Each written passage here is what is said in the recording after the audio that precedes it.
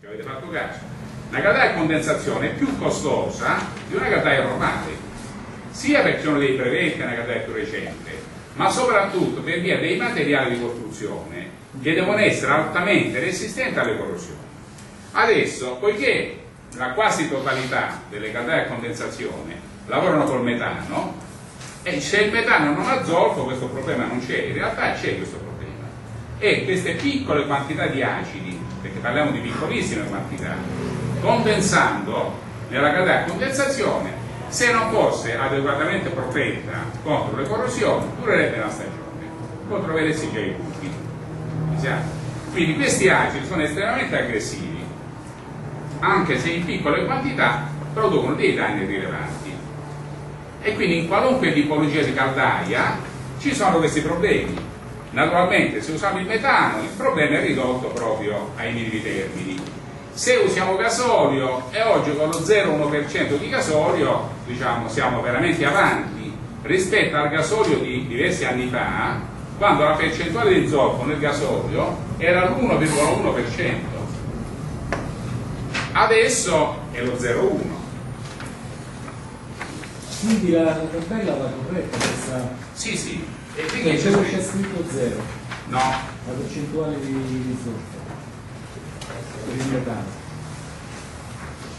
Sì, per il metano è praticamente zero.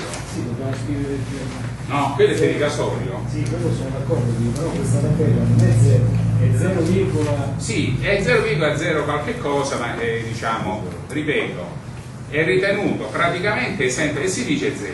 In realtà poi non è proprio 0, ma quelle piccole quantità poi danno luogo alla formazione della cloroforto. Poi quanto sia non te lo so dire perché non lo trovi da nessuna parte. Nelle caratteristiche del metano non ti indicano nessuno dei fornitori le percentuali di zolfo. Quindi in una caldaia normale la problematica diciamo, è relativa, ma in una caldaia a condensazione i problemi vengono fuori tutti. Quindi anche l'acido nitrico, parliamo di ppm, parti per milione, votato dalla tabellina sono quantità piccolissime, ma sono sufficienti a distruggere una caldaia. Non è che ci vogliono queste quantità. Eh? Che cosa? Eh, bravo. Adesso, fino a pochi anni fa, gli scarichi fumari per norma UNI si parlava di condotti metallici. Invece saranno un paio d'anni, due o tre anni, che sono stati omologati materiali plastici anche per i condotti fumari, quindi resistenti alle corrosioni, eh, resistenti alle temperature di emissione di fumi, e naturalmente i materiali plastici solitamente sono più resistenti di quelli metallici alle corrosioni. Ma sono stati vietati quelli metallici oppure eh? sono stati vietati? No, no, assolutamente. Ah. Sono ammessi anche quelli plastici. Cioè fino a poco tempo fa, era, fino a poco tempo fa era obbligatorio avere delle canne fumarie metalliche. Invece ormai sono stati omologati anche, quindi riconosciuti idonei a tutti gli effetti della tenuta, delle deformazioni, della resistenza alle temperature, anche alcuni materiali plastici. Naturalmente il fabbricante li certifica e quindi possono essere... Ma questo perché sono passate le temperature dei fumi? Oppure... No, no, no, perché hanno testato questi materiali e quindi li hanno ritenuti idonei. È un'evoluzione, diciamo. Sono i meno. Un'evoluzione. Cose di meno resistono di più.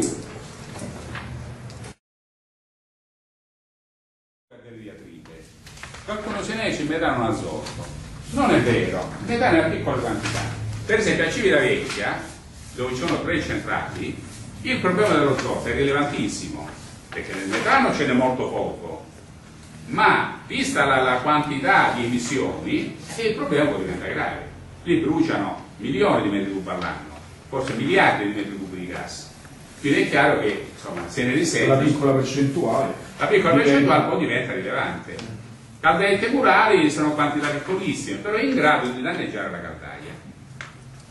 Quindi questo punto di rugiada acido avviene la condensazione dell'acido solforico al di sotto dei 160 gradi centigradi. Ma non è che è 159 condensa tutto l'acido, è un diagramma. In base alle percentuali dell'acido solforico contenute nel combustibile c'è una temperatura di condensazione. Quindi per esempio con gli oli combustibili di una volta, che oggi non esistono più, con il 3-4% di zolfo, bisognava uscire al camino con i fumi sui 230 gradi, tra 200 e 250. Quindi lontano, lontano dai 160, anche per evitare che zone fredde del camino, infiltrazioni di aria, creassero la condensa. Quindi si stava a temperature notevolmente più alte. Quindi ricordatevi, non è un punto fisso, ma al di sopra di questa temperatura non c'è la condensa dell'idrosolforico. Al di sotto comincia la condensazione. Dipende dalla percentuale di zolfo contenuto nel combustibile.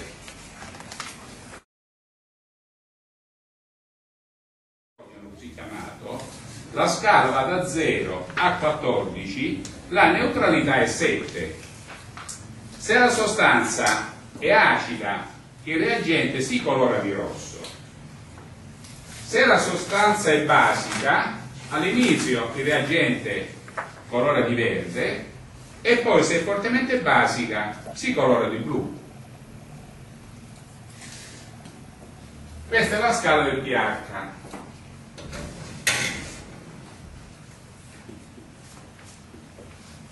Quindi o con la cartina di tornasole o con delle gocce diciamo di apposito reagente.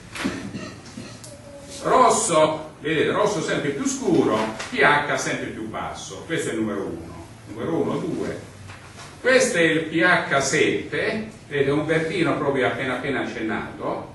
Poi diventa verde più scuro poi diventa blu. Quindi se una sostanza è acida. E allora siamo nella zona del rosso se è basica, leggermente basica, siamo sul verde e poi andiamo sul blu. Quindi le acque di condensa delle caldaie, delle caldaie a condensazione hanno un pH basso, chiaramente 6, 5,5, qualcosa del genere. Prima di scaricare l'infognatura, ripeto, edifici civili scaricano direttamente l'infognatura. Se sono uffici o altre attività, bisogna raccogliere queste condense in un recipiente, aggiungere con un apposito dosatore una sostanza basica, aggiungendo la sostanza basica il pH si porta a 7, ossia alla neutralità, non è né acido né basico, e poi si può scaricare in fognatura. Però dipende dal numero dei dipendenti, dei- degli impiegati, diciamo, che sopra questo vale, sopra i 12 eh, Sì, se è una micro azienda ci deve essere già una certa quantità diciamo, di, di, di, di liquidi, anche se poi si è visto che se tutto sommato si scarica in eh, con un pH leggermente acido, non si fa nessun danno, perché la prevalenza degli scarichi sono basici, lavatrice, lavastoviglie, detersivi, c'è una forte basicità, quindi alla fine forse converrebbe quasi quasi mandarci un po' di... Questo prescinde dal tipo di combustibile, cioè il metano comunque prevede questo tipo di trattamento. Sì, allora il discorso è questo, le- stiamo parlando delle catene a condensazione. Sì, sì, per quello. Le catene a condensazione devono essere a metano per due motivi. Perché il metano ha il 25% di idrogeno e quindi forma un certo quantitativo di acqua. Il gasolio quanta- quanto idrogeno ha? La metà, 12-13%. E quindi la quantità di acqua che si forma è la metà e il calore che si recupera è la metà. Non solo c'è questo svantaggio, ma c'è anche lo svantaggio, che è quella gasolio, che nel gasolio c'è una percentuale di zolfo eh, insomma, abbastanza... Quindi una catena a condensazione può anche essere a gasolio, però abbiamo a che fare con una corrosione molto più forte e con un recupero di calore che è la metà di quello del metano. Quindi alla fine già in alcuni casi non conviene quello al metano. Quindi a gasolio, se non bisogna fare sempre un conto economico abbastanza preciso per vedere se conviene. È un po' precaria la situazione.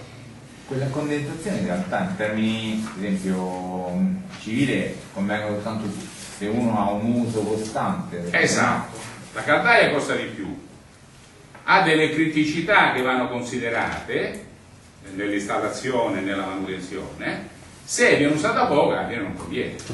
Per esempio, impianti di riscaldamento, eh, pure qui Roma è zona D, poi vedremo, le- sono accesi per un certo periodo dell'anno e per un certo orario durante il giorno.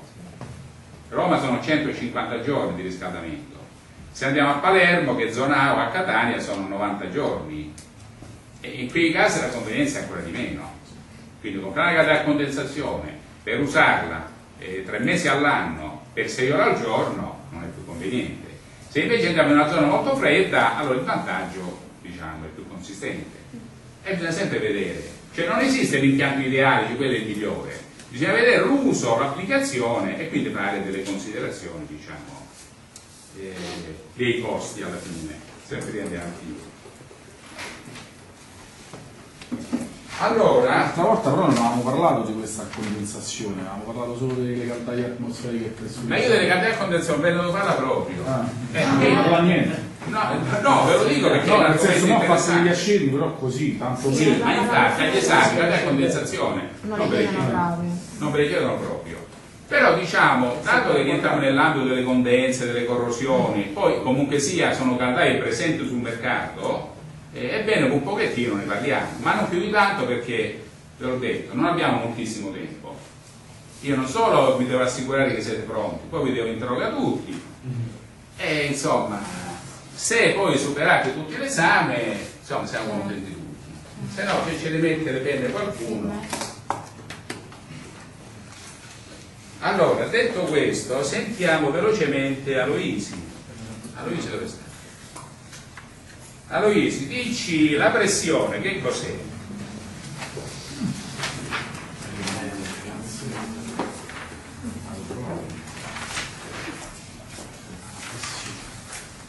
Dici come si misura, qual è lo strumento. Ah, lo strumento è il manometro. E quindi tu misuri una pressione, l'unità di misura qual è? Chilorammo su centimetro quadrato. Bene, il vecchio sistema.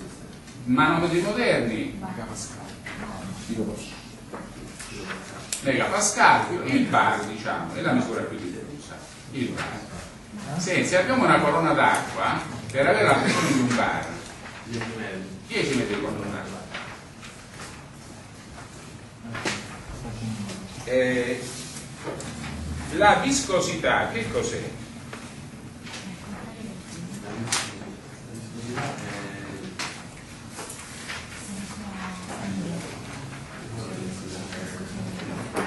Eh, non è la densità, anche se c'è una certa affinità, diciamo, densità è sempre il peso specifico. La viscosità si misura in gradi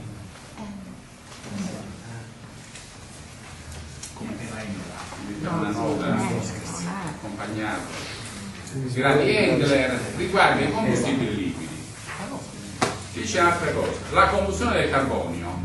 Quando il carbonio brucia bene, cosa produce? è Ecco, lì danno 30 anni di caccia. Anzi, nel caso, perché la pena di morte non c'è, no? Quando brucia bene, dite il CIO, questi fanno tutto un salto sulla sede, tutta la commissione. Quando il carbonio brucia bene, cosa sviluppa? Lui ha detto sviluppa il CO, che sviluppa? CO2, CO2 che si chiama diversamente anidride carbonica. Invece il monossido di carbonio è tipico delle combustioni. Sembra la combustione dell'idrogeno, cosa sviluppa? L'idrogeno è un componente del combustibile, brucia con l'aria, esattamente brucia con l'ossigeno, Produce H2O. H2O. Acqua. Eh, va- ah, il vapore acqua, quella è la temperatura. Eh, deve studiare. Sto weekend si era dalla passeggiata. L'esame è la prova orale? La prova è orale su questi strumenti. Ah, solo orale. La maggior parte sono strumenti. Sì, solo orale, però mezzo esame più o meno sugli strumenti.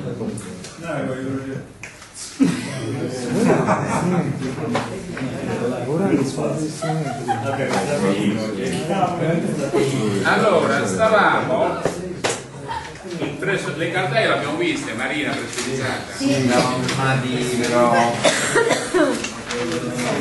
alla mattina che poi Allora,